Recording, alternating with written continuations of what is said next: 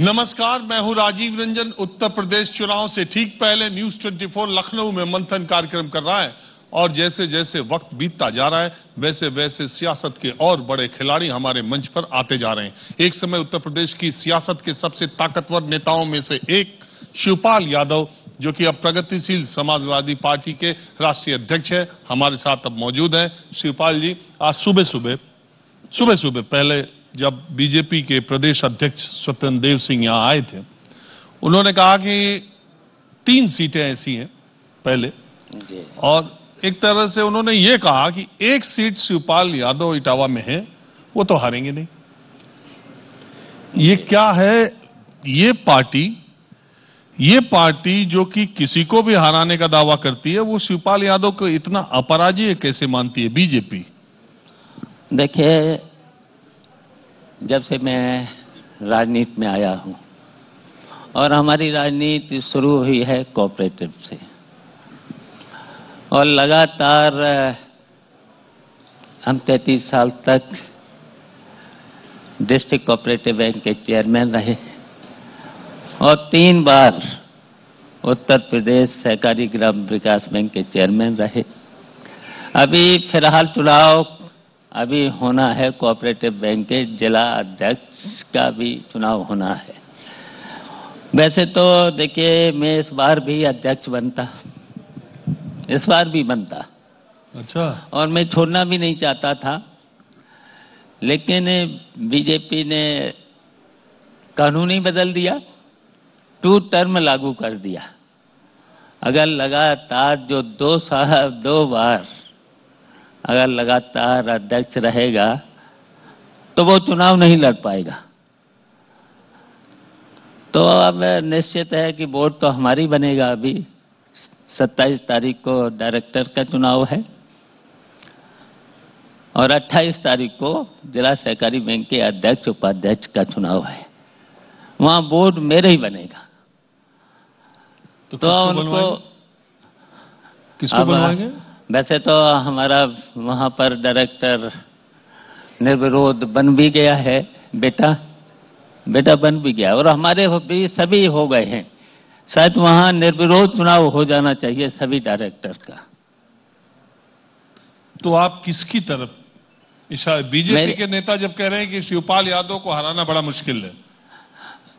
तो वो समझते हैं उनके पास सूत्र होंगे उनके पास सरकार में हैं। नहीं तो उनके पास सूत्र होंगे। अच्छा मेरा तो चुनाव जब सुश्री मायावती जी भी थी तब हम लीडर अपोजिशन भी थे। मैं जानते हैं कि चुनाव में उस समय भी बेईमानी हुई थी तब भी हमने चुनाव जीता। तब भी हमने चुनाव जीता। हाँ, तो शिवपाल यादव बहुत समय तक उत्तर प्रदेश में जहाँ हाथ लगाते थे वही जीतते थे। नहीं ऐसा तो नहीं। देखिए हम वैसे तो समाजवादी हैं, नेताजी के साथ किया है।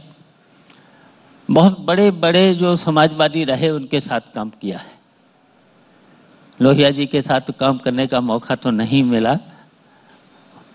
लेकिन उसके बाद राज नारायण मधुरमय जॉर्ज फर्नांडिस ऐसे बहुत से लोग हैं। नेताजी के साथ तो काम किया ही है, लगातार। चालीस पैंतालीस साल काम कर ही रहे हैं। तो हमने तो ये सीखा है, देखे राजनीति में संघर्ष संघर्ष और त्याग, ये चीज़ें बहुत ज़रूरी हैं। और जब संघर्ष नहीं होगा तो फिर पार्टी आगे नहीं बढ़ेगी। संघर्ष और त्याग अगर रहेगा मन में, जिसके हृदय में त्याग रहेगा, और मैंने कभी पद नहीं मांगा है, आज तक पद नहीं मांगा है और नहीं मांगा पद उसकी वजह से मैं बहुत पहले विधायक बन सकता था अस्सी में भी विधायक बन सकता था। छियानवे में बने। छियानवे में बने। एवं नेताजी तीन तीन जगह से चुनाव लड़े हैं दो दो जगह से चुनाव लड़े हैं और जीते हैं। अगर मेरे मन में होता तो नेताजी ने जब सीट खाली करी करी तो मैं वहाँ से लड़ जाता तो वो अस्सी में चुना मैं एमएलए बन जाता। लेकिन छियानवे में मैं विधायक बना। और विधायक बनने के बाद मैं समाजवादी पार्टी का प्रमुख सचिव भी रहा। ग्यारह बारह साल एक साल पचास साल में समाजवादी पार्टी का प्रदेश अध्यक्ष बन रहा लीडर अपोजिशन रहा। पद मेरे पीछे पीछे भागे हैं। मैंने पद को कभी मांगा लेकिन शिवपाल जी पाँच साल पहले हम लोग जब आए थे, मंथन कर रहे थे, आपके घर भी गए थे, याद होगा। उस समय पार्टी और परिवार में जिस तरह की स्थितियाँ थी, बड़ी खींचतान थी, बड़ा तनाव था आपके चेहरे पर। आप अक्सर हाथ ही मला करते हुए मिलते थे। पाँच साल बीत गए इतना जल्दी, देखते देखते। ऐसा लगता है छह, आठ महीने या साल भर पहले ही की वो घटना है। पाँच साल बीत गए और आप जहाँ थे वहीं रह गए। आपको अब आगे बढ़ने के लिए रास्ता क्या दिखाई दे रहा है? देखिए अब मेरी पार्टी है प्रगतिशील समाजवादी पार्टी। पचहत्तर जिलों में हमारा संगठन खड़ा है। वैसे तो देखिए मैंने प्रयास किया है अलायंस का भी प्रयास किया है। किससे? मैंने देखिए कई बार मैं बोल चुका हूँ प्राथमिकता है हमारी समाजवादी पार्टी नंबर एक। लेकिन उधर से जो सिग्नल आता है उसमें इस तरह का आता है कि पहले तो आता था कि चाचा के लिए एक सीट छोड़ देंगे, अब सिग्नल आता है कुछ और छोड़ देंगे। देखिए, एक सीट छोड़ना तो मज़ाक है मेरे लिए। मैं तो इसको मज़ाक समझेंगे। देखिए, नेताजी के साथ और जब मैं प्रदेश अध्यक्ष रहा, पार्टी का प्रमुख सचिव रहा तो शायद मुझे उत्तर प्रदेश की 403 विधानसभाओं की सूची बनाने का मौका मिला। जी, अब कोई ये कहे कि नहीं इससे कोई कोई इनकार नहीं कर सकता कि आपको उत्तर प्रदेश की राजनीति समाजवादी पार्टी में आपकी हैसियत संगठन में आपका काम पूरे जिलों में और 403 सीटों पर आप सब कुछ तय करते थे इससे किसी को इनकार नहीं है। और मैं अच्छी तरह से ये बात जानता भी हूँ। लेकिन मैं आपसे ये पूछ रहा हूँ ये जो रास्ते पर आप 2022 में खड़े हैं शिवपाल जी बड़ा कठिन है। अगर इस बार भी सत्रह जैसा आपका हाल हुआ तो फिर आपके समर्थक, आपके साथ वाले लोग, जो भावनात्मक रूप से भी आपसे जुड़े हैं संगठन के आधार, फिर उनका रास्ता बड़ा मुश्किल हो जाएगा। आप कहाँ जाकर अपना स्थान इस बार के चुनाव में देख रहे हैं, पहली बात, और कितनी सीटों पर आप समझौते के लिए तैयार हो सकते हैं, और क्या समझौते के विकल्प आपके कहीं और भी खुले हैं, समाजवादी पार्टी के अलावा भी? देखिए पहले तो अगर बात हो, मैंने तो प्रयास भी किया है। और आपने भी सुना होगा कि हम जल्दी बात करेंगे। मैं इंतज़ार कर रहा हूँ। मैं इंतज़ार कर रहा हूँ। और, वैसे तो देखिए, राजनीति में शिष्टाचार भेंटें तो होती रहती हैं। अन्य दलों से भी होती रहती हैं। और लेकिन देखिए हम चाहते हैं कि भारतीय जनता पार्टी हटी हार जाए। हट जाए। आप ही चाहते हैं। और हम ये चाहते हैं। तो इसलिए हम चाहते हैं कि जितनी समान विचारधारा की पार्टियाँ हैं समाजवादी भी है सेकुलर पार्टियाँ भी हैं एक हो जाए। हमारा पहले तो प्रयास ये है। और और बातचीत हो और बातचीत में बातचीत में ही तय होगा। हम आप बात करने से तो यहाँ तो बातचीत हो नहीं सकती परिवार है। का मसला है। अगर बातचीत हो तब तो सीटों का बंटवारा हो। देखिए उत्तर प्रदेश देश की सियासत में आपका परिवार सबसे ताकतवर सियासी परिवार और एकजुटता की दुहाई दी जाती थी। आपके परिवार में ही दरारें पड़ी तो लोग बोलने लगे मैं सवाल भी पूछ रहा हूँ। लेकिन ये बात सही है कि अब आपके जो पुराने साथी थे वो भी ज़्यादातर देख ही रहे हैं समाजवादी पार्टी में वापसी कर रहे हैं। ये भी बात सही है कि विपक्ष का उत्तर प्रदेश में सबसे बड़ा चेहरा अखिलेश यादव है। अब वो स्थापित हैं अपनी पार्टी के राष्ट्रीय अध्यक्ष। ऐसे में बहुत सारे लोग आम बा, बातचीत में मैं उत्तर प्रदेश के अलग अलग शहरों जिलों में जाता हूँ वो कहते हैं शिवपाल यादव के पास पैसा बहुत है। और उनके साथ जो लोग जुड़े हैं उसी पैसे की वजह से जुड़े हैं। वो चुनाव लड़ेंगे उनके संगठन में रहेंगे कुछ शिवपाल यादव से झटक लेंगे कुछ काम उनका चल जाएगा। और शिवपाल यादव दिल के नरम आदमी है कुछ बांट भी देंगे। देखिए वैसे तो देखिए मेरा संगठन पचहत्तर जिलों में खड़ा है। जी। और देखिए आने वाले चुनाव में और दो चुनाव में तो भ्रम टूट भी चुका है सत्रह और उन्नीस में। और अगर मैंने 300 सीटें लड़ा दी उत्तर प्रदेश में तो फिर हमारी पार्टी बड़ी हो जाएगी। हमारी पार्टी बड़ी हो जाएगी। और जो ये कहते हैं ना और जो ये कहते हैं कि हमारी छोटी पार्टी है उनकी छोटी हो जाएगी और हमारी बड़ी पार्टी हो जाएगी। और अगर हमारे पास पैसे ही होता आज अगर हमारे पास पैसे ही होता ना तो हम बहुत आगे होते। पैसे की तो कमी है। न हम भी चलते होते हेलीकॉप्टर पर हवाई जहाज़ पर। हाँ? लेकिन एक बड़ा बात- प्रदेश है। हाँ ज़रूरत है। हम समझते हैं कि हवाई जहाज़ की भी ज़रूरत है हेलीकॉप्टर की भी ज़रूरत है। पैसे की तो कमी है। लेकिन जब हम निकलेंगे अब निकलने वाले हैं हम उत्तर प्रदेश में। निकलेंगे।